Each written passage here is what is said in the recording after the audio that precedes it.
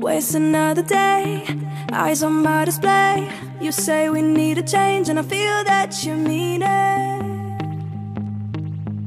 You mean it.